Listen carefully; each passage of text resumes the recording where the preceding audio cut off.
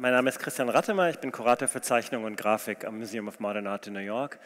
Ähm, und ich kenne Nassan schon seit Jahren. Äh, ich habe versucht nachzudenken, wann genau die Taipei Biennale war, wo wir uns das erste Mal kennengelernt haben. Was war das? Sieben Jahre her? Acht Jahre her? Irgendwie sowas? Acht, acht, bestimmt. acht Jahre ja, her. Also, ähm, und dann sind wir uns immer wieder in anderen Orten und Städten begegnet, in Istanbul. Äh, also, aber irgendwie sind wir uns, noch, hatten wir noch nie den Anlass, anlässlich einer Ausstellung und wirklich Arbeiten hier vor Ort in Berlin gemeinsam äh, miteinander zu sprechen. Insofern ähm, habe ich mich sehr über die Einladung gefreut. Vielen Dank. Ähm, und äh, freue mich sehr, mit dir äh, über sowohl die aktuelle Ausstellung als auch über deine Praxis und über deine Arbeiten insgesamt ein bisschen zu sprechen.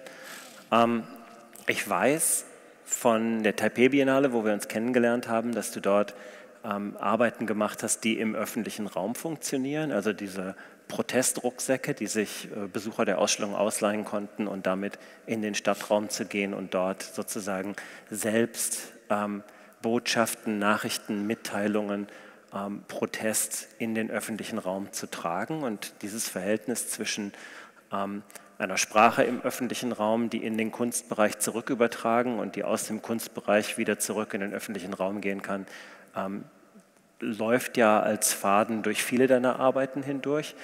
Und insofern wollte ich fragen, inwieweit du das aktuelle Projekt als eine, wie soll ich sagen, Fortsetzung, Variation, Abwandlung dessen, was dich in deiner Arbeit grundsätzlich beschäftigt, verstehst oder inwieweit einzelne, ähm, wie soll ich sagen, Entscheidungen, die du getroffen hast, ähm, wie, du, wie du dazu gekommen bist. Einfach um ein bisschen, ich wollte hoffen, dass du ein bisschen erstmal grundsätzlich über deine Arbeiten reden kannst, sodass wir dann von dort aus vielleicht mhm. einzelne Teile und einzelne Themen und Materialien stärker in den, in den äh, Gesichtspunkt nehmen können. Mhm. Ja, wenn wir jetzt über die eine Arbeit, zum Beispiel Backpacks äh, in Taipei sprechen, ähm, das ist ja eine Arbeit, die beinhaltet Rucksäcke, äh, die man aus dem Ausstellungskontext rausleihen kann. Genau. Was ähm, in vieler Hinsicht auch kompliziert ist, weil es für Museen relativ schwierig ist, ähm, Sachen, die ja, Werkzeuge, Messer, Äxte, äh, Bohrer, aber auch äh, Gasflaschen äh, äh und Batterien und wie auch immer haben, dass die sozusagen auch immer rein rechtlich auch äh, aus dem Museum rausgehen können und wieder zurück ähm, können. Und ähm, das, sind, das sind dann eher so Plattformen, die ich kreiere, wo der Besucher eigentlich die Möglichkeit hat, die wirklich wahrzunehmen, die wirklich zu benutzen. Da geht es mir eigentlich auch gar nicht so sehr, was sie dann wirklich mit dem äh, Demonstrationsrucksack dann auch wirklich anstellen, äh, aber eher so diese Entscheidungsfindung, da ist etwas, ich könnte es sozusagen rausnehmen, ich könnte es auf meinen, Rucksack, äh, auf meinen Rücken schnallen und wirklich ins Öffentliche gehen und ähm, aktiv werden. Ja? Äh, und dieser Gedankenprozess ist mir wichtig. Bei dieser Arbeit ist es ein bisschen anders, weil äh, es ist schon auch, äh, kommt ein bisschen von der, weil zuerst kam eigentlich die, ähm, vor zwei Jahren habe ich angefangen, diese Holzschnitte äh, oder sagen wir mal Holzdruckplatten ähm, zu schnitzen. Die sieht man jetzt auch hier vorne, ist ja dieses Funktionieren, aber das sind eigentlich die Werkzeuge, mit denen wir diese ganzen Drucke jetzt machen. Und ähm, da war die Grundidee eigentlich, eine Arbeit zu kreieren, die einerseits eine künstlerische Arbeit, ein Bild vermittelt, auch eine Art von Text, Statement mit sich trägt, aber auch im gleichen Moment ein Werkzeug ist, ein Werkzeug für Reproduktion. Und ähm, so war es dann auch gedacht. Also sprich, die hängen erstmal im Ausstellungskontext als Bilder, dürfen aber wirklich als Druckblock benutzt werden. Und das kriegt man auch wirklich mit Zertifikat. Die erste Arbeit hatte ich für eine, äh, zu einem Anlass für eine Sammlung in Neapel gemacht, äh, die äh, ja, 2005 dort ausgestellt worden ist, Ende 2005 und bis heute eigentlich auch ähm, ähm, benutzt wird. Ja? Das heißt, das heißt die, in diesem Falle, wenn ich das richtig verstehe, der Sammler oder die Institution hat den Block, den Druckblock gekauft und damit dann die Erlaubnis bzw. die Auflage bekommen, von diesem Block Drucke anzufertigen.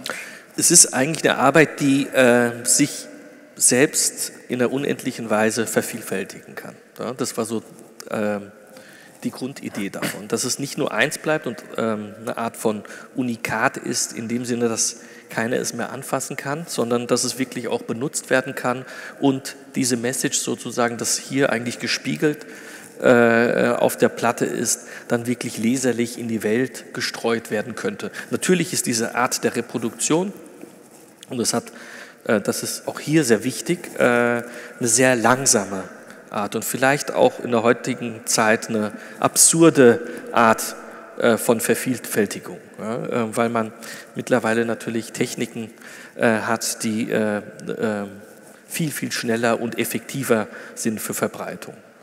Ja, das,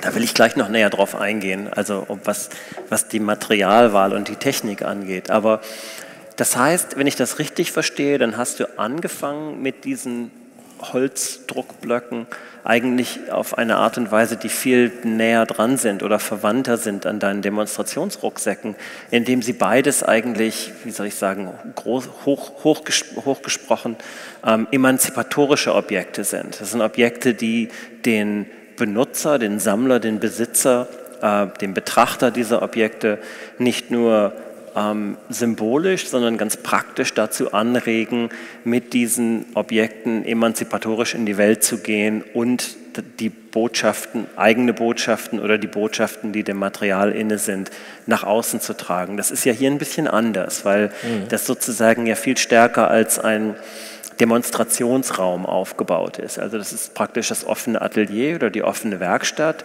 wo du mit Assistenten und Assistentinnen ähm, diese Drucker anfertigst, aber die sind limitiert und in dem Sinne sind die Druckblöcke ja als Objekt ähm, nicht weitergegeben an jemanden, wo man sagt, mach dir deinen eigenen Druck, sondern sie funktionieren eigentlich viel klassischer als, ich sag mal, als künstlerisches Objekt, ähm, dass sie dafür sind, da sind eine limitierte Auflage von wertvollen oder jedenfalls von dir autorisierten, äh, inspizierten und, und hergestellten äh, Grafiken zu, äh, zu, zu, produzieren. Siehst du da einen Wandel in deiner Auffassung, wie diese Blo Dro äh, Holzstöcke benutzt werden, oder ist das einfach, dass beide Möglichkeiten dem Material inne liegen? Na, das ist eine Art von, also eine Entscheidung auch der Präsentation. Ja, ähm, die Sache ist ja die, dass jetzt äh, man nicht mehr die Druckblöcke nicht mehr benutzen darf, nachdem hier Drucke sind. Ähm, was ich hier eigentlich kreieren wollte, eine Art von Situation, die eigentlich im Verborgenen stattfindet. Also dieser ganze Prozess eigentlich bis zu diesem, äh, bis zu diesem Endprodukt für viele Leute, die dann später in Galerien äh, oder in Ausstellungen zu sehen sind, den hier zu zeigen. Also das ist ja auch so gegeben. Im Endeffekt sitze ich dort und äh, fälle wirklich die Entscheidung, welche äh, Statements denn wirklich auch dann geschnitzt werden in diese Platten. Dann fällen wir die Entscheidung der Größe auch und, ähm, äh, und äh, der Reihenfolge und äh, dann wiederum wird hier wirklich gedruckt und die Entscheidung auch, dass es hier eine Auflage gibt, ist auch ein bisschen eine praktische, weil im Endeffekt ähm, soll es ja auch in neue Druckplatten übergehen. Also mhm. es soll eine, äh, eine Art von ähm, ja, äh, eine Zirkulation sein. Also ich wollte jetzt nicht hier eine Druckplatte und dann unendlich viele Drucke davon äh, machen, sondern hier eigentlich auch eine Art von äh, Showroom äh, der Entstehung des Prozesses einer Arbeit zeigen, äh, ähm, die, äh, die wiederum für mich sehr wichtig ist. Also deswegen auch vielleicht bei den Backpacks oder auch bei vielen anderen Arbeiten, dass dieses eigentliche diese eigentliche Aktion, die oft dann irgendwie verwendet wird in Publikationen oder auch von Museen sozusagen ausgestellt wird, dass da wirklich was passiert ist mit diesen Arbeiten, dass die eigentlich sekundär ist, sondern der Prozess eigentlich sehr wichtig ist.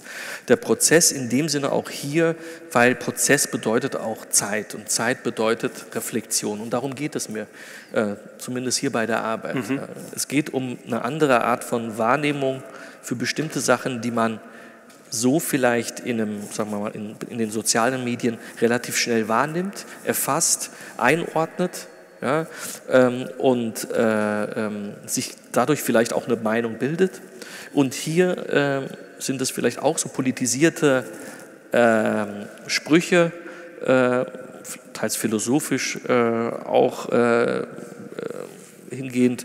Ähm, jedoch ist diese Verlangsamung, dieser Prozess, diese Idee Reproduzi des Reproduzierens, aber auf so einer extrem verlangsamten, auf Handwerk basierenden, veralteten Technik, äh, spielt dort auch eine Rolle, glaube ich, in der Wahrnehmung. Ähm, schön, dass du das ansprichst.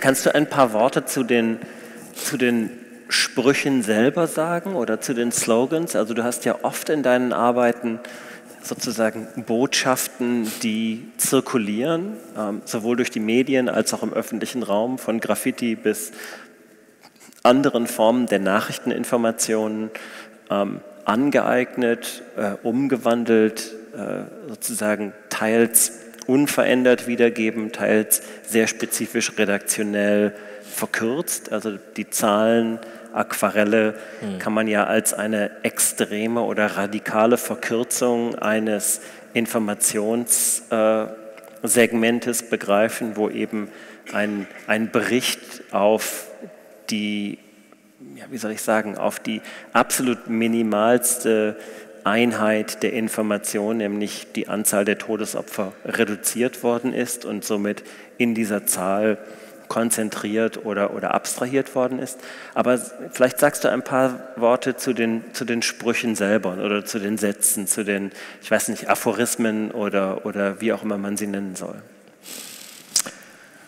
Es sind, ähm, ja, es sind Wörter, Aussagen, die ich eigentlich täglich auch über soziale Medien inhaliere, ja, die äh, ja, bestimmte ja, Richtungen, auch politische Richtungen irgendwie vorgeben.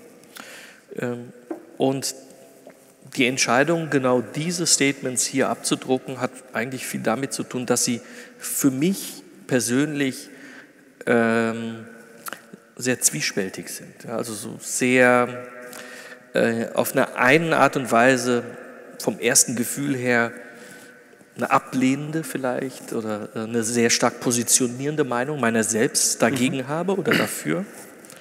Und äh, bei längerer aber Überlegung ich mich oft auch ertappe, dass, dass äh, genau diese äh, äh Sprüche, die ich so ablehnen würde, sagen wir mal aus meiner humanistischen und menschlichen Sicht her, ähm, dass, die, dass ich da doch sozusagen auch selber eine Schwäche habe und, und äh, in meinem ja, in meinem äh, Anspruch an mich selber oft auch scheitere, ja, rein psychologisch und ähm, dann doch was Wahres auch in meinem eigenen Handeln sehe. Also ein Beispiel wäre vielleicht, was weiß ich, äh, Empathy is naive zum Beispiel, was zuerst mal komplett gegen meine Auffassung widerspräche, doch äh, es schon auch Momente gibt, wo man vielleicht auch das Gefühl hat, ähm, dass genau das der Fall ist. Und, ähm, und genau diese Zerbrechlichkeit eigentlich in der Position, die man ja eigentlich finden möchte im Leben auch, eine Position einmal politischer Art und Weise, aber auch als, als Mensch innerhalb, also auch als Rolle innerhalb der Gesellschaft, dass, dass diese, diese Fragilität sozusagen äh, äh, bei der Entscheidung hier eine Rolle gespielt hat. Das heißt, verstehst du diese Sprüche als wie soll ich sagen, ähm, wertend in einer gewissen Form als negativ oder als Realpolitik oder als also sozusagen Security is Fantasy, ähm, Ambition is essential. Das hat ja so ein bisschen, also A, dass es alles auf Englisch ist, auch hier in einem deutschsprachigen Kontext. B, dass es solche ja sehr apodiktischen äh, Setzungen sind, die irgendwie äh, in sich eine gewisse, wie soll ich sagen, äh, brutale Autorität mit sich äh, implizieren. Also so, so, ist die Welt irgendwie. Mhm. Glaub bloß nicht, mhm. dass du sicher bist, dass du äh, allein mit äh, Empathie durchkommst, dass du also, dass du sozusagen die Ambitionen außen vor lassen kannst und so weiter. Das hat ja eigentlich ein, auf eine gewisse Art und Weise ähm, Anklänge an, ich sag mal so diese die klassischen Johnny Holzer Troismen ohne den moralischen Kern. Mhm. Ähm, und also insofern siehst du die als Warnung, siehst du die als einen zynischen Spruch, siehst du die als etwas, das man, wo man sich mit auseinandersetzen muss, auch wenn es eine eigene Unbehagsamkeit oder eine Unsicherheit oder eine, äh, eine, eine Abwehr dagegen gibt, zu sagen, ja, so ist die Welt und wenn ich das nicht akzeptiere, dann sozusagen stelle ich mich den Realitäten der Welt nicht oder ist es für dich viel abstrakter oder, oder poetischer gedacht, dass man einfach, das sind Sätze, die, die du gefunden hast in der Welt, die auf eine gewisse Art und Weise einen Bedeutungshof um sich herum kreieren und die du einfach sagst, mich interessiert es einfach nur, diese Sätze zu verdoppeln und nochmal wieder freigestellt als ins, ins Bild zu bringen. Ich glaube, wir, glaub, wir leben in so einer Zeit, wo so Polemik eine ganz große Rolle spielt und auch eine Funktion hat oder die auch gut funktioniert mit den neuen Medien, die wir jetzt irgendwie zur Verfügung haben und die vielleicht auch in Anlehnung zu dem Raum hier, mhm. ähm, was es früher auch, ähm, war ja früher eine Zeitungsdruckerei, die ja auch Informationen in die Stadt reingetragen hat, die äh, ja auch Meinung bilden sollte im Endeffekt, äh, dass, dass wir gerade äh, ähm, in einer Zeit sind, wo wo sich viele Sachen verschieben und äh, wir uns aber ähm, bewusst werden müssen, dass wir, dass wir vielleicht differenzierter denken müssen, in, in, welche Richtung auch immer. Äh, es ist nicht eine Positionierung von, ich weiß, wo es lang geht und ich weiß, dass derjenige schlecht ist und das richtig ist.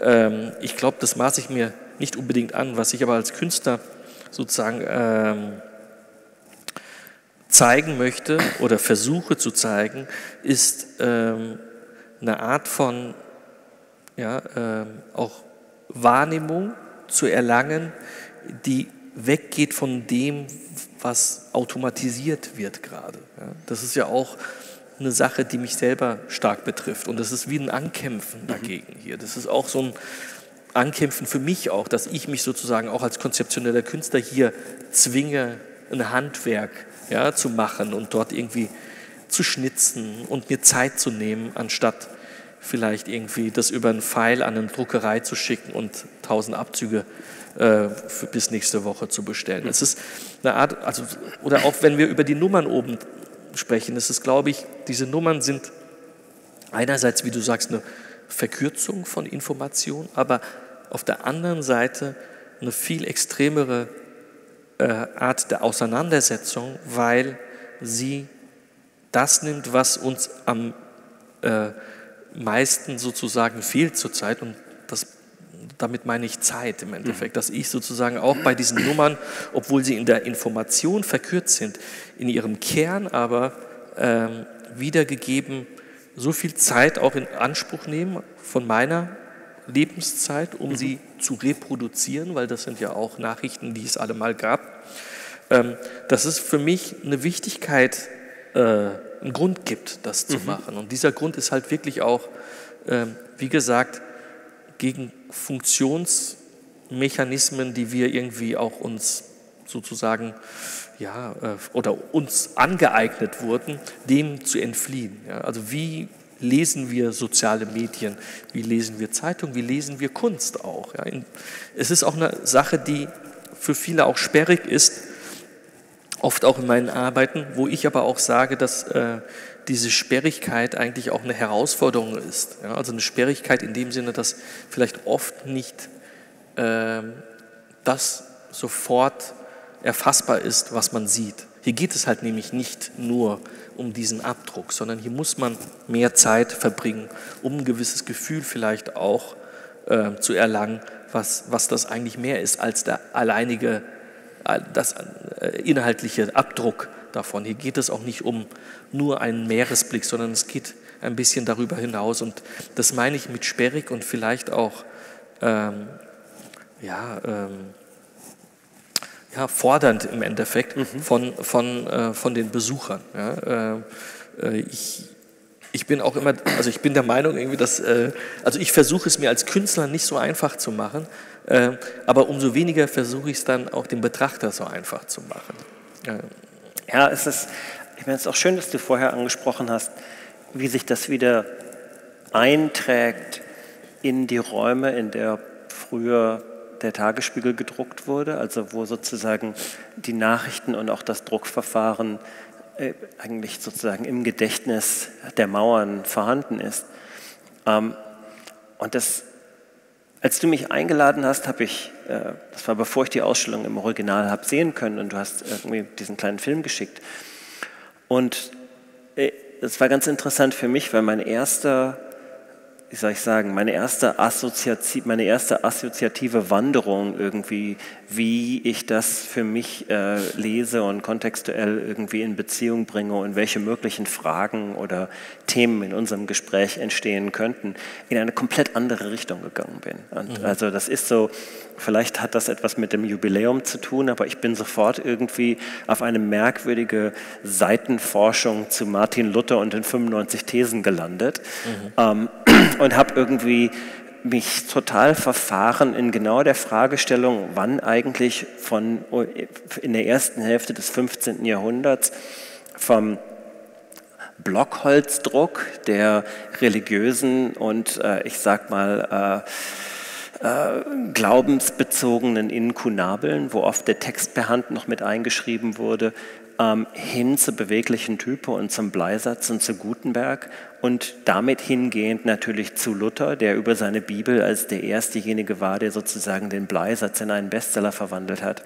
Ähm, ein Moment in der technologischen, sprachlichen und öffentlichen Protestverschränkung eingetreten ist, die ähm, nicht nur unmittelbar mit unserem Begriff von Neuzeit zu tun haben, sondern auch mit unserem Begriff dessen, was deutsches Nationalbewusstsein zu tun hat. Und das sozusagen wieder mit einer Verschränkung zu tun hat, dass der Holzschnitt im 20. Jahrhundert ein in Anführungsstrichen deutsches Medium ist, auch wenn das historisch überhaupt nicht war. Aber sozusagen habe ich mir angefangen zu sagen, was bedeutet das eigentlich ähm, als über den Holzschnitt sozusagen öffentlich Protestthesen wieder in die Welt zu setzen im 500. Jubiläums-Lutherjahr. Und da war ich heute im Studio und habe dir diese These vorgestellt und du hast mich nur angeguckt und gesagt, ich habe überhaupt keine Ahnung, wovon du redest. Insofern dachte ich, nee, nee, ich stelle ich das lieber als, äh, wie soll ich sagen, als, als Seitenweg in den Raum, statt dich irgendwie darauf anzusprechen, was, was es hier mit Luther auf sich hat. Aber mit Luther hat das wenig auf sich, aber es hat schon vielleicht auch so eine Parallele, weil wir hier gerade äh, auch in einem Moment sind, wo sich auch wieder Sachen verändern, eine Art von Informationsfluss anders funktioniert. Also das mit Luther war ja äh, auch vom äh, wie nanntes Block zum Blei. Mhm. Äh, interessant war, also in dem Kontext ist, dass ich, äh, ich habe 95 angefangen, Kunst äh, zu studieren an der, Visu äh, an der Hochschule in Offenbach. Und das war genau der Moment, als die ersten Rechner äh, ankamen und der Bleisatz noch in einem anderen Zimmer war. Ja. Und man einerseits den Bleisatz noch gemacht hat und dann auf der, äh, in einem anderen Zimmer schon angefangen hat, äh, den Rechner irgendwie, wie man den anmacht überhaupt und dass man darauf schreiben kann, mhm. so Sachen. Und mit Internet war das so ganz der Anfang. Und das, das ist schon interessant auch, dass äh, diese äh, ja, diese Transformation auch von äh, äh, Massenvermittlung äh, sich auch gerade, glaube ich, jetzt in einer Art und Weise ändert, mit dem wir auch wiederum ganz neu umzugehen lernen müssen. Ähm, ähm, ich genauso wie alle anderen. Aber es ist schon, also rein geschichtlich sehr interessant, glaube ich, was gerade abgeht. Ja. ja, deswegen ist ja auch, also ich musste auch mal darüber nachdenken, dass ja eigentlich der Holzschnitt ein denkbar ungeeignetes Medium ist. A, sozusagen Nachrichten, selbst in der klassischen Druckgrafik, schnell oder, oder massiv zu vervielfältigen, weil es irgendwie... Das ist absurd eigentlich. Es ist absurd, das ist ja, total ja. absurd. Es ist auch ein extrem schlechtes Medium, um Text darzustellen, weil du eigentlich sozusagen, du musst in, in der Größe Text schnitzen, um überhaupt irgendwie, nicht, dass, dass dir die Gräte nicht brechen und dass der Text nicht unleserlich wird. Also das ist ja sozusagen historisch betrachtet genau der Moment, wo der Holzschnitt ähm, sozusagen historisch oder überflüssig wird, in dem Moment, wo klar wird, ich muss nicht mehr das Bild drucken und den Text per Hand reinschreiben, sondern mhm. durch den Bleisatz können wir nicht nur den Text schneller variabel machen, sondern auch sozusagen ähm, verlässlich materiell sozusagen so darstellen, dass im Druckprozess die Buchstaben einem nicht wegbrechen. Und da sozusagen auf die langsamste, absurdeste, auch materiell eigentlich ähm, kontraproduktivste äh, Druckmethode wieder zurückzugreifen, ähm, um eben all diese Formen der Verlangsamung, der Verzögerung, der, der, der, des materiellen Widerstandes im Material dem Ganzen entgegenzusetzen, mhm. ähm, ist eigentlich hochinteressant. Die Frage für mich ist dann eben immer noch genau sozusagen, zu welchen Zwecken? Was bewirkst du mit den Sätzen? Was bewirkst du mit den Drucken? Was bewirkst du mit den Blöcken? Und inwieweit funktioniert das anders oder ist das von dir anders gedacht oder gleich gedacht, als du das mit deinen anderen Arbeiten versuchst? Ja, weil es wirklich nicht um die Texte an sich nur geht. Ja, es geht, ähm, also einerseits ist es total absurd, du hast recht. Ähm, andererseits macht es auch total Sinn in dem Sinne, dass man hier eine Art von ja, Raumsituation schaffen kann, wo die Leute halt nicht einfach nur es lesen, verstehen und äh, weggehen äh, sollen oder können. Ja? Sondern, ähm, und das ist schon interessant auch an der Ausstellung, wie unglaublich kontemplativ äh, oder so ein Sog auch das mhm. bekommt, dass die Leute wirklich also, und das habe ich ja mitbekommen, weil ich auch vor Ort war, was ja auch nicht immer der Fall ist. Wenn man Ausstellungen macht, ist es oft so, dass man zur Eröffnung da ist, zum Aufbau zur Eröffnung und dann lange Zeit eigentlich überhaupt nicht mehr und man eigentlich nicht viel mitbekommt. Und hier war das unglaublich interessant zu sehen, äh, wie viel Zeit sich die Leute eigentlich nehmen, wenn sie denn die Zeit sich nehmen möchten. Und wenn sie es dann getan haben, ähm, dass das äh, fast so eine meditative äh, Erkenntnis für sie war, was Zeit anbetrifft, auch äh, ja, fast in eine Art von Zeitlupe einzutauchen, in eine Real-Life-Zeitlupe. Und das ist genau das, was, was ich äh, ja auch bezwecke, eine Art von Verschiebung von Wahrnehmung. Ja? Etwas nicht, sagen wir mal, so wahrzunehmen, wie man es sonst aus anderen Medien kennt. Und ähm, das ist das Ziel. Sowas kann man nicht auf also kann man auch auf einer Messe zeigen, aber, äh, oder, äh, aber es, ist, äh, es ist etwas, wo man nicht irgendwie innerhalb von zwei Sekunden das checkt und irgendwie geht, sondern es ist halt dann doch mehr, weil es was mit jedem Einzelnen zu tun hat. Äh, und das ist wirklich sehr unterschiedlich, äh, wie jemand zu Sachen steht. Ja. Ob es jetzt inhaltlich diese ähm, ja, äh, philosophisch-politischen Sprüche anbetrifft oder auch die Art und Weise, wie überhaupt gelesen wird.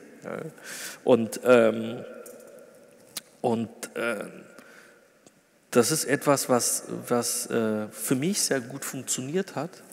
Und ähm, das, was ich auch wollte, dieses ganze, was äh, wirklich eigentlich im Versteckten zum, als Display sozusagen, als Ausstellung zu zeigen. Mhm. Und es beinhaltet natürlich einmal ich habe zwar also gesagt, ähm, es beinhaltet die Entscheidung, also die Entstehung von den, äh, von den Sprüchen, äh, die Werkzeuge, der Druck, aber auch der Verkauf, der Moment des nach außen Wiedergehens von diesem geschlossenen, geschützten mhm. äh, Kokon. Ja, ähm, und ähm, das beinhaltet ja hier alles. Und dieses ganze System sozusagen als eine Installation ähm, ähm, aufzubrechen, ja, gar nicht zu reduzieren, sondern aufzubrechen, ähm, das war ein gutes Experiment für mich. Also das heißt, ist das Prinzip bei diesen Arbeiten anders als bei den vorherigen Holzblöcken oder ist praktisch jemand, der diese Arbeit kauft, hat dann auch eigentlich wieder, ist wieder aufgefordert oder angehalten oder jedenfalls äh, wird, wird erlaubt, davon weitere Drucke anzufertigen? Oder ist, ist die Entscheidung, eine gewisse Anzahl von Drucken von diesen, von diesen Holzstöcken anzufertigen, äh, eine Abweichung davon? Es ist, glaube ich, eine andere Art der Präsentation, weil im Endeffekt äh, ja auch der Verkauf von den Blöcken hier stattfindet oder auch von den Druck, Drucken, die jetzt hier in der Edition stattfinden. Aber ähm, im Endeffekt ist es wieder auch eine äh, Art von Möglichkeit äh, äh oder auch eine Entscheidungsübergabe. Ja? Also sprich, wenn wirklich jemand diese Arbeiten kauft, dann ist es im Endeffekt dann trotzdem seine Entscheidung, ob er die äh, wie hier auch, als, mhm. als Druckblöcke benutzt oder nicht. Ja. Oft wird es dann sein, natürlich, nein, das ist irgendwie ein Kunstwerk oder äh, hat einen gewissen Wert, vielleicht wird es ja irgendwann mal auch äh, mehr wert sein. Andere würden sagen, damit mache ich so viele Abdrücke wie möglich äh, und verschenke sie überall.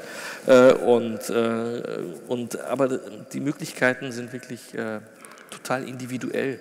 Und ich glaube, dieses Individuelle macht es dann auch irgendwie aus, weil es nicht eine fertige Sache ist, die ich einfach nur abgebe, sondern es ist wirklich auch etwas, was ähm, ja so eine Art Benutzung auch beansprucht. Ja. Zumindest eine Entscheidung der Benutzung. Ja. Bearbeitest du oder begreifst du die Arbeiten als Schrift oder als Bild? Also ich glaube, dieses Verhältnis zwischen Schrift und Bild spielt ja in so vielen deiner Arbeiten eine ganz zentrale Rolle. Vielleicht kannst du ein bisschen etwas zu, diesem, zu dieser Spannung oder zu dem Verhältnis zwischen beiden erzählen. Ja, es ist nie nur Schrift.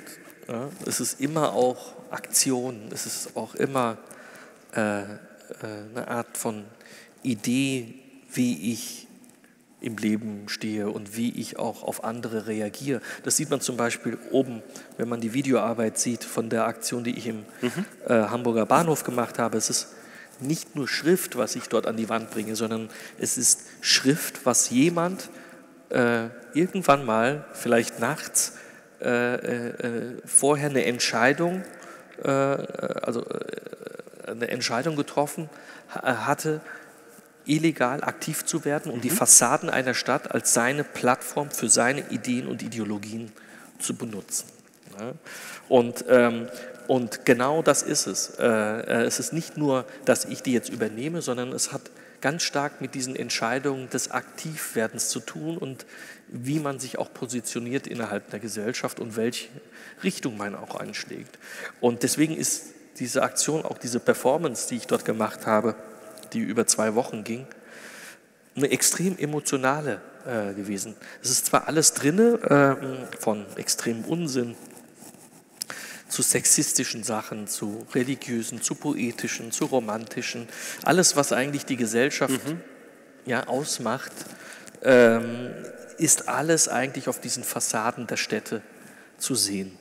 Und aber in dem Moment, als ich sozusagen als äh, ja, wieder ähm, sagen wir mal, Widersprüher, ja, wieder, Widerschreiber ähm, ähm, genau diese Sprüche wieder an die Wand geschrieben habe, war das für mich sehr emotional, weil das für mich auch immer eine persönliche Geschichte, äh, äh also einen Grund gegeben hat für diese Person, das äh, als Versuch öffentlich zu machen, das an die heißt, Wand zu schreiben. Das heißt, du hast während der, des Widersprühens, ein schöner Begriff, ähm, während der sozusagen Verdoppelung dieser Graffiti, dieser Sprüche im öffentlichen Raum, hast du bei dir selbst das Gefühl gehabt oder, oder bemerkt, dass du durch eine ähnliche, äh, wie soll ich sagen, emotionale Tiefe gegangen bist? Das heißt, irgendwie hast du Wut gespürt, wenn du einen wütenden Spruch aufschreibst oder Liebe gespürt, wenn du einen romantischen aufschreibst oder,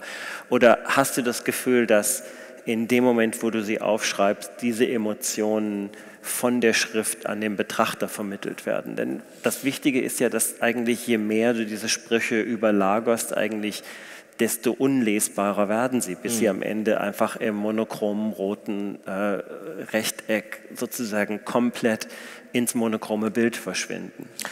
Das Gefühl war eher oder ist eher ein Eintauchen in eine Intimität von jemandem. Also gar nicht, wenn ihr, also weil, weil du, ich meine, du, du wieder, also sprühst sozusagen etwas, was dieser Person in dem Moment extrem wichtig war. Ja? Oder vielleicht auch nicht. Ja? Aber sehr oft sind sie wirklich auch inhaltlich aufgeladen, selbst wenn man, äh, wenn man jetzt der, der Hund irgendwie schreibt. Äh, äh, ist das irgendwie erstmal lustig, aber es hat natürlich auch äh, einen Hintergrund, eine Geschichte. Wer ist dieser Hund und was regt diese oder was hat diese Person so aufgeregt, dass sie so über jemanden irgendwie äh, da so rausschreit, wo es vielleicht sonst keine Möglichkeit hat. Es hat sonst keine Plattform vielleicht, ähm, äh, sowas irgendwie preiszugeben von sich. Und diese, dieses Eintauchen in die jeweiligen Intimitätssphären, das fand ich sehr emotional. Das ist für dich wichtig, dass das sozusagen fühlbar bleibt, jedenfalls für dich oder dass sich das vermittelt. Das denn, ich habe das, denn ich habe die viel abstrakter verstanden, einfach als ein. Es ist für mich ist es einfach passiert. Es mhm. ist einfach das, was, äh, was halt auch in Prozessen stattfindet, wenn man Arbeiten macht. Ja? Also es ist, es ist ja nie, und das haben wir ja auch hier, äh, nie unbedingt das Endprodukt. Also wenn ich das Bild male, ist es nicht das Bild. Man sieht zwar das Bild, aber wie viele Bilder hat man gemalt, wie viele Bilder hat man wieder zerstört, wie viel hat man zerkratzt, wie viel hat man verbrannt, bis man am Ende vielleicht dieses eine Bild entlässt. Ja?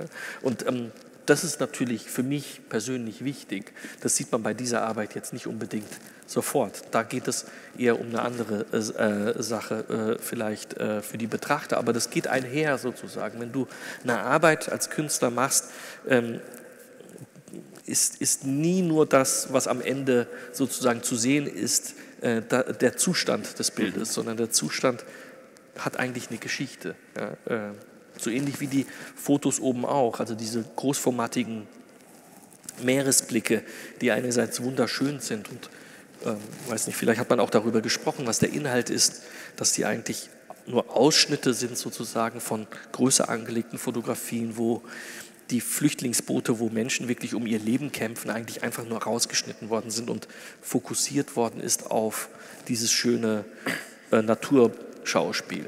Und ähm, das bedeutet natürlich nicht, dass, dass es bei, dieser, bei diesem schönen Naturschauspiel äh, geblieben ist bei mir, sondern dass, wie ich vorher auch schon erwähnt habe, man sich so, durch so viele Tragödien und so viele anderen schlimmen, äh, extremen äh, Ereignisse und Foto, also Fotografien durchwühlen müsste, um am Ende wirklich diese Entscheidung zu treffen, dass man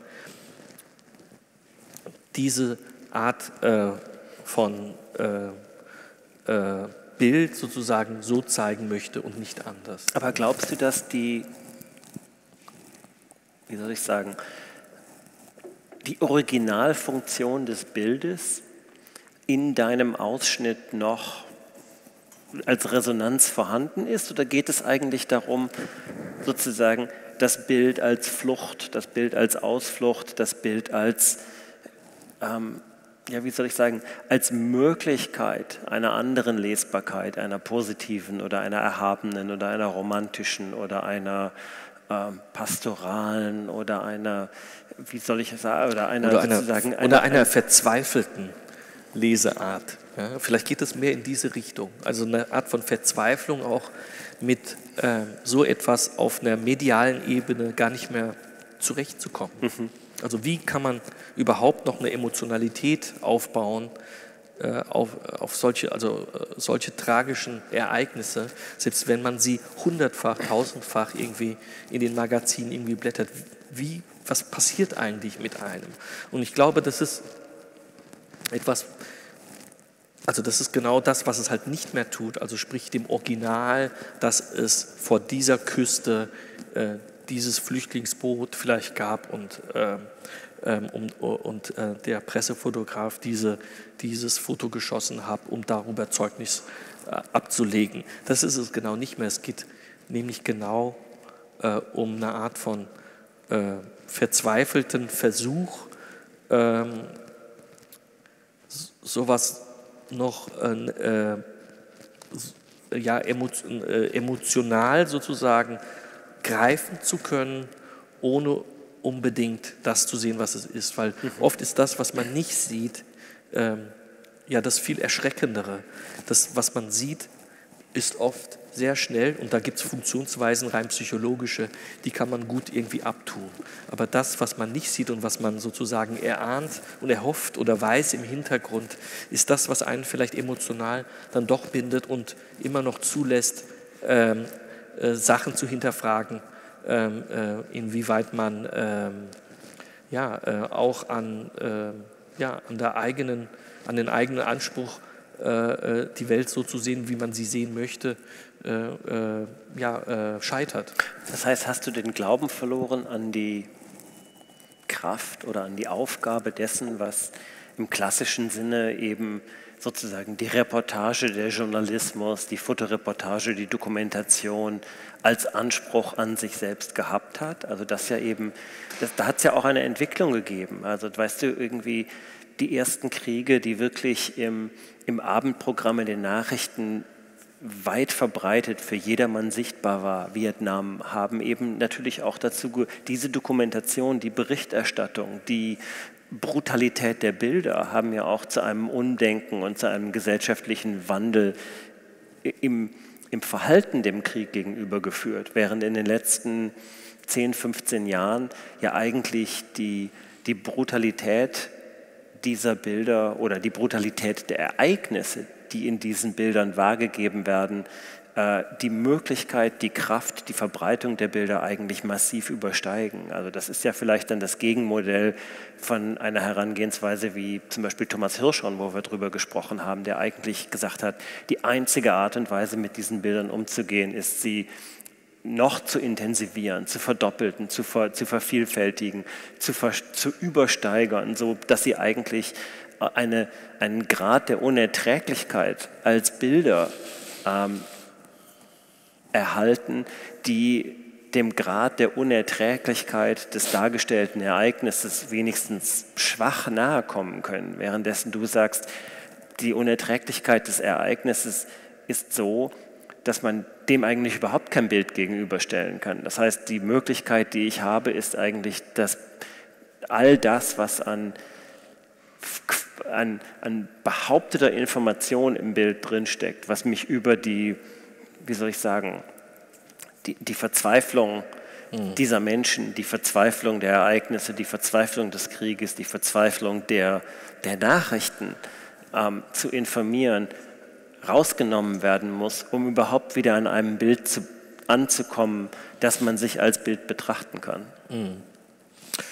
Klar, das hat sich verändert in dem Sinne, aber nicht unbedingt, dass sich die Art und Weise der, der Fotos äh, oder der Berichterstatter sozusagen geändert hat, sondern eher der, äh, der Auswahl im Nachhinein und auch des Zulassens von Pressefotografen zu bestimmten Gegebenheiten. Also was also es wird unglaublich gelenkt. Und das, was wir zu sehen bekommen, ist natürlich auch etwas, was äh, extrem gefiltert ist und auch einen gewissen Zweck hat. Ja? Also muss man sich auch nichts vormachen. Ich glaube, da muss man sich auch recht sensibilisieren äh, dafür, dass, äh, dass das nicht unbedingt viel mit, immer mit Realität zu tun hat. Andererseits sind es die einzigen ja, Dokumente, die wir irgendwie mitbekommen ja, und wir die auch mitbekommen müssen, damit wir mehr oder weniger Bescheid wissen von neutralen Quellen, ähm, ähm, was, was da eigentlich stattfindet, um ja eine eine kollektive Meinung irgendwie bilden zu können. Ja? Oder eine individuelle erstmal, aber auch dann im Kollektiv zu sagen, da müssen wir was tun und zwar auch als Land und da müssen unsere Politiker was tun jetzt, weil äh, das nicht irgendwie anders geht. Wenn ich die Zahlen lese als eine Antwort auf oder eine Durcharbeitung von einer letztlich textuellen Meldung irgendwie, da ist ein, ein Bericht in der Zeitung, wo steht irgendwie am 15. September 2015 sind bei einem Autounfall, Terroranschlag, Unwetter äh, oder, oder, oder so und so viele Menschen ums Leben gekommen auf dieser Stadt, wo du sagst, okay, das ist praktisch eine Beschreibung eines dramatischen äh, Ereignisses, was zu Todesopfern geführt hat. Manchmal eins, manchmal 107, manchmal 23. Aber das ist eine andere Form der Mitteilung als das Pressefoto, was sozusagen drastisch ähm, und unmittelbar, eindrucksvoll ein Event, ein Ereignis, einen Moment in einer längeren Leidensphase darstellt. Das ist eine ganz andere Form der ähm, Mitteilung, die der Graffiti im öffentlichen Raum irgendwie, der Spruch an der Schulwand oder unter der Autobahnbrücke darstellt, ist eine andere Form der, der Mitteilung, die du über sozusagen den endlosen Feed von sozialen Medien irgendwie tagtäglich aufs Telefon oder auf den Rechner oder auf andere Bildschirme gespült bekommst, die irgendwie ironisch, persönlich, äh, flippig, äh, kommerziell und so weiter und so weiter sind, hast du das Gefühl, dass du überhaupt versuchst, auf die, wie soll ich sagen, Unterschiedlichkeit all dieser Kanäle und der Besonderheit der Form der Informationsmitteilung, die durch diese unterschiedlichen Kanäle irgendwie täglich auf sozusagen vor dich äh, hin, hingestellt werden, mit anderen Formen reagieren zu müssen? Oder, oder reagierst du letztlich auf Dinge, die dich einfach sozusagen persönlich berühren? Also hast du das Gefühl, dass du sagst, ja. das ist ein anderer Kanal, da muss ich mit anderen Strategien darauf reagieren? Oder, oder verschwimmt das alles und bekommt, wird sozusagen eine große Realität des Nachrichtenstroms, der dich äh, sozusagen visuell, textuell, informationell äh, überfordert oder mit dem, man, mit dem man als Individuum umgehen muss? Naja, äh, dieses Analysieren spielt schon eine große Rolle. Und äh, natürlich hat das was mit einem persönlichen, mit einer, auch einer persönlichen Art und Weise, wie man Sachen äh, aufnimmt und auch weiter irgendwie verwertet, mhm. ja, rein persönlich zu tun.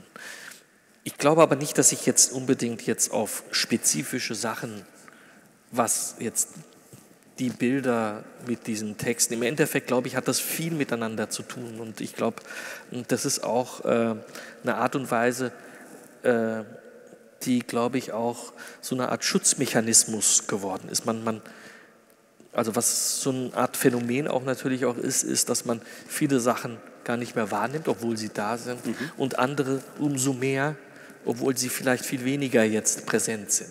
Und es hat viel was damit zu tun gehabt, also zu tun, glaube ich, dass man ja für sich so eine Art Mechanismus herausfindet, aus diesen Massen äh, dann für sich eine Realität, die, die man vielleicht auch sehen möchte, ähm, daraus rauszufiltern und die dann vielleicht auch zu vergrößern und der eine größere Gewichtung zu geben, als sie vielleicht äh, haben sollte oder hat.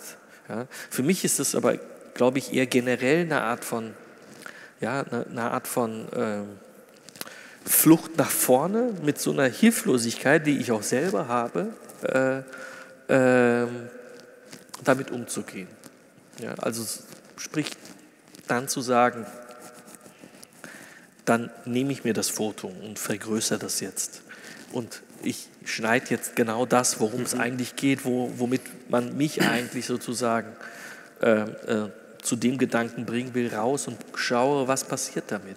Ich nehme sie aus den sozialen Medien, äh, was da über Algorithmen oder wie auch immer mhm. über Facebook an mich herangetragen wird, ganz gezielt auch, weil sie genau wissen, dass ich mit dem befreundet bin, diese Nachrichten und diese Zeitung abonniert habe und mir diese Nachricht sozusagen zurechtlegen und tue sie dann nochmal in eine Art von Prozess hinein, ähm, die mit dieser schnell, äh, Schnelllebigkeit und Verstehbarkeit so gar nichts am Hut hat und man Sachen dann nochmal irgendwie neu definieren muss. Äh, und ich glaube, das sind alles so, ähm, ja, wirklich äh, äh, ja, sehr nach vorne preschende, aber dann doch auch ähm, Versuche, die so sagen wir mal, ähm, trotzdem sensibel anzupassen, mhm. weil man, ich bin ja mir nicht so sicher mit allem. Ja? Es ist ja nicht so, und das ist, glaube ich, auch ganz wichtig und es spielt immer ganz viel eine Rolle in meinen Arbeiten,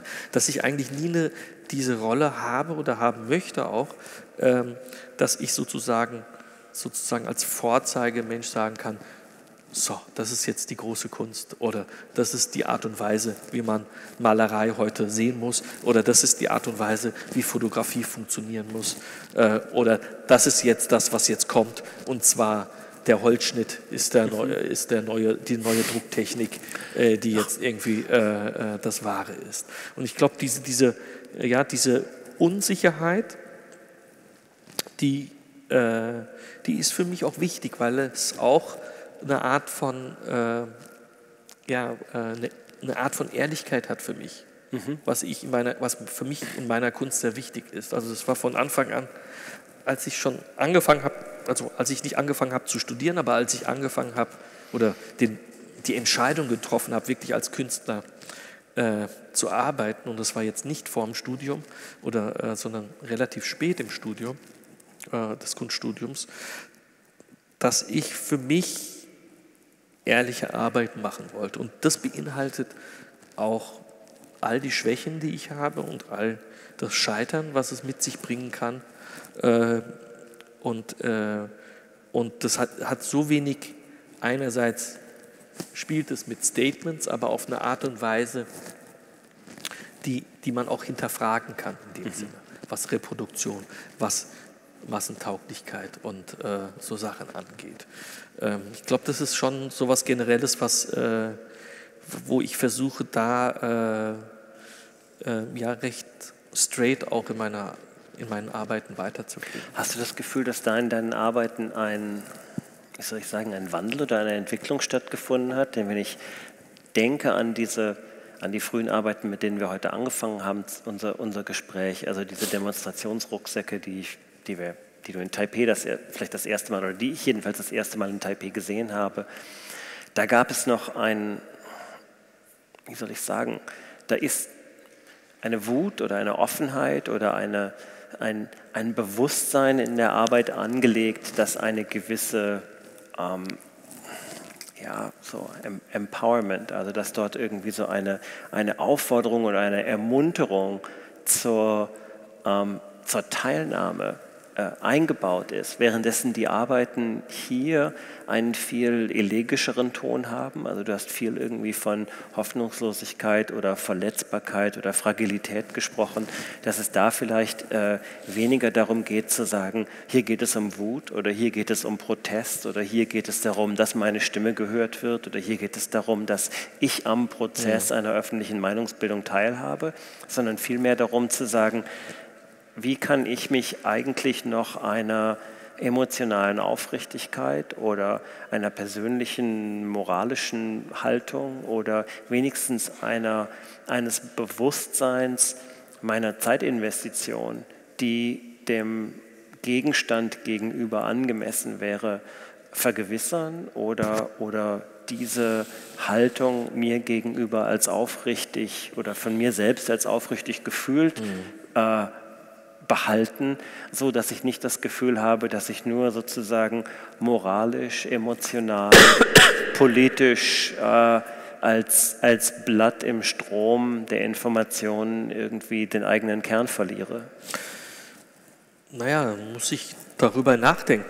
Ja, aber es ist, glaube ich schon, es gibt natürlich eine Veränderung. Das wäre ja schlimm, wenn es nicht auch eine Entwicklung in so Arbeiten geben würde, ja, über die Jahre hinweg.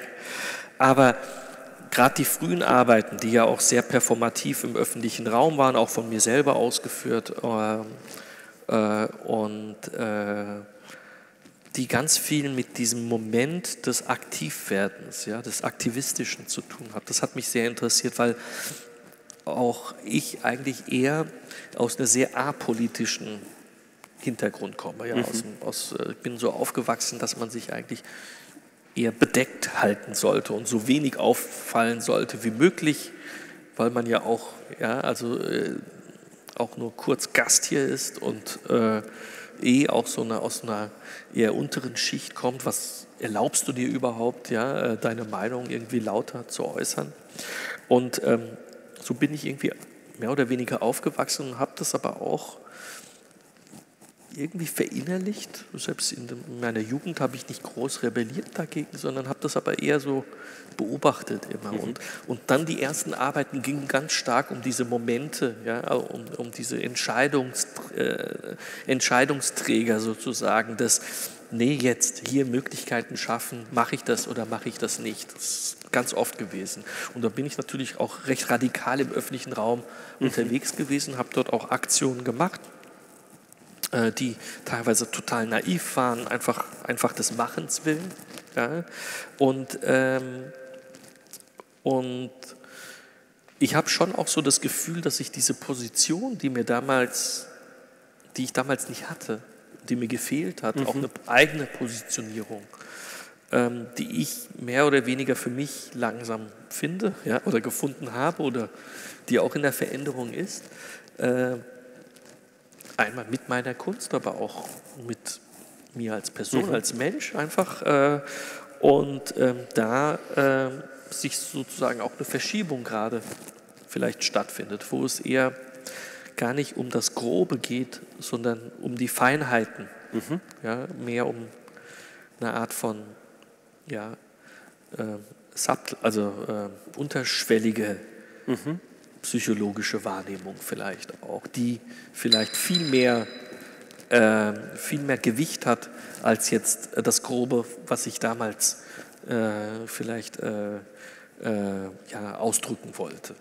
Da ist ja auch interessant, dass du ganz dezidiert im, in unserem Vorgespräch von dieser Installation nicht mehr als einer performativen Anordnung gesprochen hast. Also das ist eigentlich das, was, glaube ich, in den früheren Arbeiten deutlich, auch selbst, selbst du von dem Wiederschreiben der Graffiti im Galerie, also im Kontext vom Hamburger Bahnhof, selbst immer noch als Performance gesprochen hast oder als eine Aktion, währenddessen, währenddessen du von, von dieser Anordnung eigentlich einem, einer anderen Form von Versuchsanordnung gesprochen hast. Dass es darum eigentlich geht, bestimmte sonst im Verborgen liegende Prozesse sichtbar und deutlich zu machen, aber eigentlich nicht als aus dem, aus dem Idee der der Aktion heraus, sondern vielleicht eher aus der Idee irgendwie eines Schaukastens oder einer Vitrine. Also das ist, ähm, äh, mhm. vielleicht hat das damit zu tun, dass im Laufe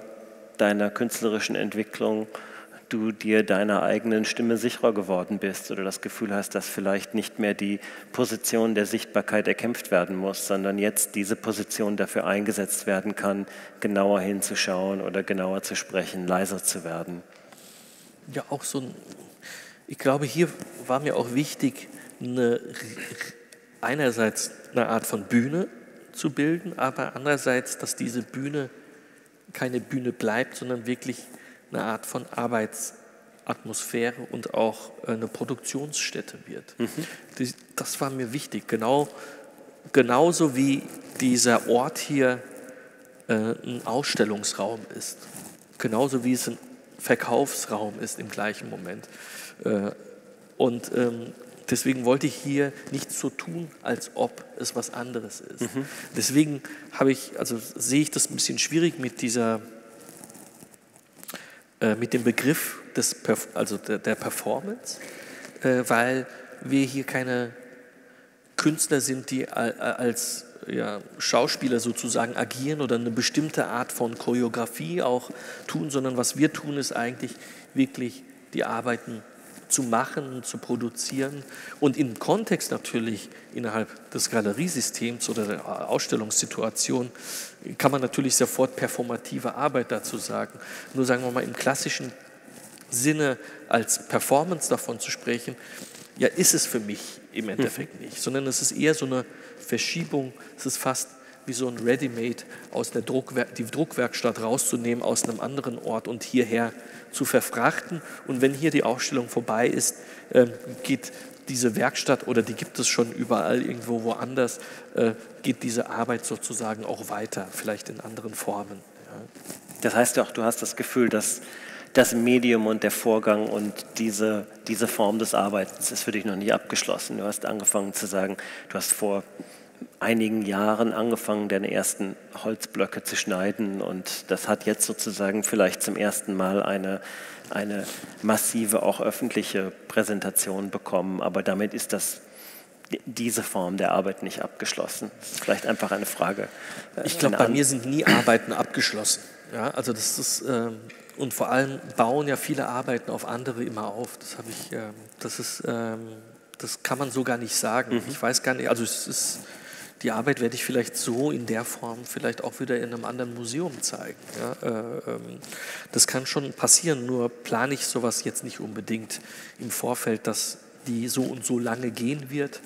Ähm, ich arbeite so verschieden im Endeffekt, dass, äh, dass ich mich gar nicht ja, so äh, ja, äh, einengen lassen mhm. möchte über ein bestimmtes Medium. Das habe ich auch nie gemacht, das hat mich auch nie interessiert. Medien interessieren mhm. mich in dem Sinne ähm, äh, aus einem Grund, der aus der aufgrund der Geschichte, was sie erzählen können in dem Moment, äh, der Funktionalität, aber nicht des Mediums willen. Also ich bin kein Medien mhm. des Mediumkünstlers, sondern ich, ich, arbeite sehr stark konzeptionell und, äh, und äh, ja, die nächsten Ausstellungen werden jetzt nicht unbedingt um Holzdrucke gehen, aber es kann natürlich auch wieder kommen. Ja? Ähm, aber die werden natürlich inhaltlich, und das ist, glaube ich, das sieht man, glaube ich, den Arbeiten auch an, wenn man so sie im Ganzen äh, sich anschaut. Da ist ein extremer roter Faden dabei, ja, der äh, sich durch alle Arbeiten eigentlich zieht. Und da geht es vor allem um so Sachen der, äh, der Formen von äh, oder der, der ja, Verhaltensformen innerhalb Gesellschaften. Mhm. Äh, und, ähm, und ich glaube, ich gehe da recht, ja, fast, ja, also ich will jetzt nicht sagen wissenschaftlich, aber ich gehe da schon auch so, habe eine Annäherungsweise, wie man eher vielleicht das von Soziologen oder Anthropologen irgendwie innehält, dass man, dass ich sehr stark beobachte, Sachen irgendwie herausziehe und in anderen Kontexten zeige und schaue, was passiert. Und das hat nicht immer zu bedeuten, dass das ein und also so und nicht anders ist. Äh, dabei scheitert man auch oft in äh, Ausstellungssituationen, auch in Arbeiten an mhm. sich, die man einmal zeigt und dann vielleicht auch nie mehr wieder zeigen wird oder die man vielleicht nach zehn Jahren wieder herausholt und, ähm, und denkt, ich möchte, es hat eine Berechtigung gehabt und dessen bin ich mir jetzt bewusst und deswegen möchte ich darauf jetzt weiter aufbauen. Mhm. Das heißt, verstehst du die Präsentation hier als eine Arbeit, eine Konstellation, eine Anordnung oder ist es einfach ein sozusagen für den Moment gültiges Arrangement, aber die Arbeiten in Anführungsstrichen sind eigentlich die einzelnen Produkte, also die Holzblöcke und die Drucke davon. Genau das ist es halt nicht. Ja, also es, ist, geht nicht darum zu definieren, was jetzt die Arbeit ist. Und ich glaube, das ist genau das, was ich hier nicht machen möchte. Ich wollte nicht eine Definition von der Druck ist die Arbeit, die Druckplatte ist die Arbeit, das sich hinsetzen äh, und das Überlegen, eine Konzeption sich ausdenken ist die Arbeit, ja, ein Werkzeug sozusagen rauszuschnitzen ist die Arbeit, sondern die Arbeit ist eigentlich alles. Ja? Und was dann später in dem Markt auftaucht oder wie auch immer, das sind alles Fragmente von der Arbeit, die viel ähm, mit äh, ja, äh, ja, äh, der, äh, dem, dem Prozess des, sagen wir mal, von mir des Künstlers irgendwie innerhalb der, des Arbeitsprozesses zu tun mhm. hat. Und da zieht man sich immer wieder Sachen raus, aber ich, ich, ich, ich sehe das nicht unbedingt so, dass dies jetzt die künstlerische Arbeit ist und, und das jetzt nicht. Selbst diese Situation hat natürlich auch den Anlass der Ausstellung äh, und äh, du, du, bist, du, du bist jetzt hier und man könnte das sozusagen auch als Teil der Arbeit mit ansehen. Ich habe da, damit überhaupt kein Problem damit. Mhm. Also ich definiere eigentlich ungern Sachen über Objekthaftigkeit oder, äh, oder äh, etwas was abgeschlossen ist sozusagen, weil man nicht mehr dran arbeitet, sondern ich glaube, es sind wirklich, Fragmente sind, glaube ich, ein gutes Wort dafür von einer, ja, von der künstlerischen, äh, äh von einem künstlerischen Arbeitskörper mhm. eigentlich. Ja. Aber gleichzeitig funktionieren ja deine Arbeiten oder sehr viele deiner Arbeiten gerade deswegen so gut, weil du sie, weil du in der Lage bist, sie eigentlich in sehr schlüssige, formale Lösungen zu überführen. Also das ist eben sozusagen die, die Aquarelle funktionieren. Ja. Okay. Ah ja, funktioniert besser. Wir müssen immer von vorne anfangen, ich ja, hätte genau. keiner verstanden. insofern, insofern glaube ich dir nicht ganz, dass alles die Arbeit ist und es keine Unterscheidung gibt. Oder andersrum gesagt, gibt es Dinge, die der Arbeit äußerlich sind? Also ist alles Arbeit oder ist einfach sozusagen im Zusammenhang einer bestimmten Galeriepräsentation einfach der Arbeitsbegriff so umfassend wie möglich gedacht? Aber es gibt natürlich ganz klar Dinge, die, die für dich nicht Teil der Arbeit sind. Äh Oh, jetzt funktioniert es aber wirklich, das Mikrofon. Jetzt höre ich mich selber auf. Wir können es auch einfach da bleiben lassen. Das ist vielleicht ein gutes Schlusswort. Ne, ist vielleicht ein gutes Schlusswort. Das ist vielleicht auch ähm, situationsabhängig oder zeitabhängig. Ja? Mhm. Äh, ich habe so für mich aber äh, nicht unbedingt äh, ja, so diesen, dieses Gefühl auch äh, des Fertigseins. Auch als als Künstler. Mhm. Ich glaube, da, ich bin da auf einer, äh, äh ich bin da ganz am Anfang.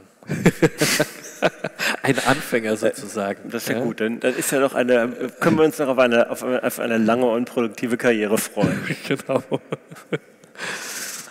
ja. ja, dann können wir eigentlich nur sagen, what's next? Was kommt das nächste? Achso, ist das jetzt eine Frage? Nee. Nein. Das, das sehen wir dann, wenn es kommt. Achso, okay. Das sehen wir dann, wenn es kommt. Sollen wir ins Publikum öffnen oder ich ja, weiß nicht, was die, ja, was die äh, genau, Erwartung oder äh, vorschlagen. Wir haben ein äh, Mikrofon und äh, würden gerne ähm, Sie einladen, dazu auch äh, Fragen an Christian oder äh, und Nassian zu stellen. Das ist echt schlimm. Also, ist ja, stimmt. Hat jemand eine Frage?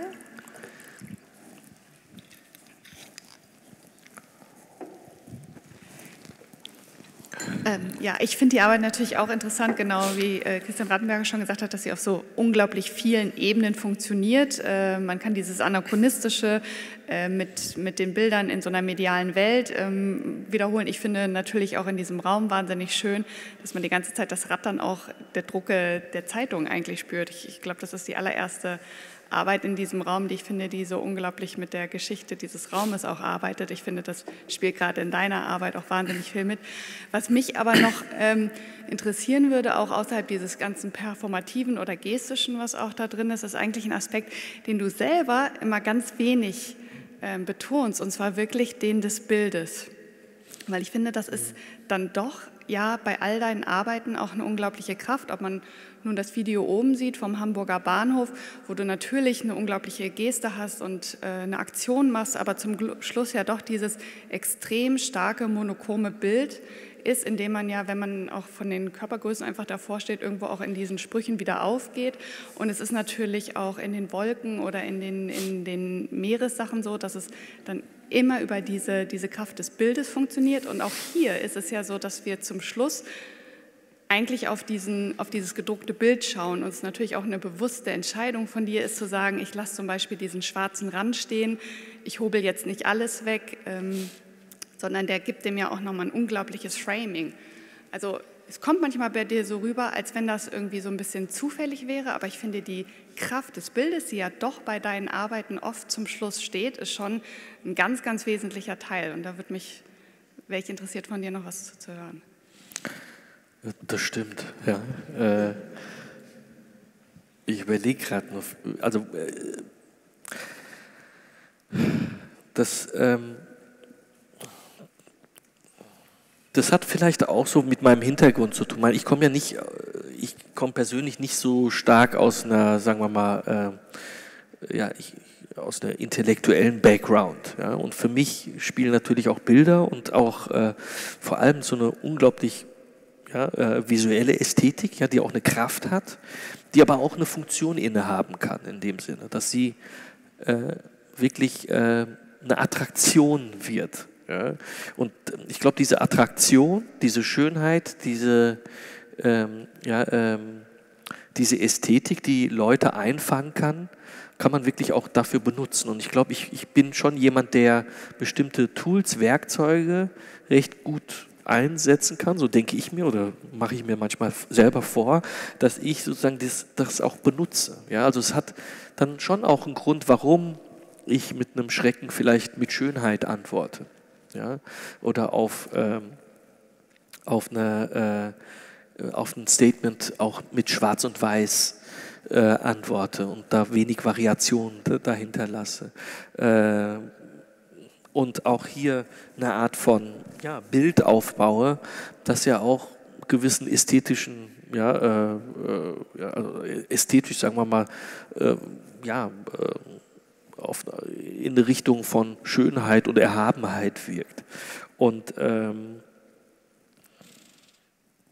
Und das aber zu kombinieren mit mehr, das interessiert mich, weil es nicht da bleiben kann eigentlich. Es kann nicht und deswegen, das ist, glaube ich, etwas, was für mich immer wichtig war, es kann nicht auf so einer ein Eben, oh, ebenhaft, nee, Ebenigkeit, nee, äh, ein, äh, eindimensionalen Art äh, der, der, Lesbarkeit äh, bleiben. Das interessiert mich nicht. Ich versuche eine Art von Vielschichtigkeit in die Arbeiten reinzubringen, die Vielschichtigkeit, die ich sozusagen auch empfinde dabei und auch als Grund ansehe, warum ich überhaupt diese Arbeiten in die Welt setze und warum ich überhaupt äh, ja auch die Entscheidung getroffen habe, solche Arbeiten als Künstler in die Welt zu setzen, äh, weil es natürlich ja ähm, auch nicht eine ungefähre Entscheidung ist, als Künstler zu arbeiten. Das hat ja auch viel mit einer Art von Egoismus zu tun, eine Art von äh, Bildaufbau oder äh, Auseinandersetzung, äh, die viel mit, äh, die sehr ich-bezogen ist. Ähm, und ich glaube, dieses einerseits ich-bezogene, andererseits mir so mir es so wichtig ist, dass es halt nicht bei dieser Ich-Bezogenheit bleibt und nicht auf einer Ebene der Schönheit oder der Ästhetik oder des Formalen äh, stecken bleibt, sondern dass es noch mehr anstellt und vielleicht auch Zeit in Anspruch nimmt, da immer wieder auch was Neues zu sehen, das interessiert mich. Ja. Mich interessiert etwas, was nicht einfach nur da ist, sondern auch sich verändert. Ja. Auch die Sicht vielleicht sich darauf verändert. Ähm, das ist ein Thema. Ja. Das ist ein ganz starkes Thema, ähm, äh, diese, ja, diese Art der, äh, des Verstehens, das aber auch auf Veränderung beruht weiß ich nicht, ob das vielleicht damit zu tun hat, aber ähm, äh, ja, das hat, ja, das ist manchmal ganz schön.